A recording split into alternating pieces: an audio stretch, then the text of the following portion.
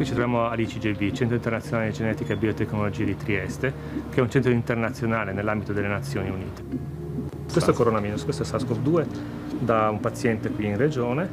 Noi possiamo andare a misurare quanto virus è presente contando le placche. Chiaramente il, il sequenziamento è una tecnologia che ci permette di leggere l'informazione genetica del virus e quindi di capire se ci sono dei cambiamenti nel tempo dell'informazione genetica. Perché se cambia questa struttura cambia anche la capacità del virus. Esattamente, ci possono essere anche modifiche nella sua capacità di trasmettersi e anche di essere più o meno neutralizzato dalla risposta immunitaria generata dal, da un vaccino per esempio. In Friuli Venezia Giulia avete evidenze di varianti strane che girano? Fino adesso non abbiamo evidenze di variante inglese, circolante in regione, ma semplicemente di virus eh, lievemente mutato. Diciamo. Lievemente mutato, ma non della variante inglese, neanche della variante sudafricana o brasiliana.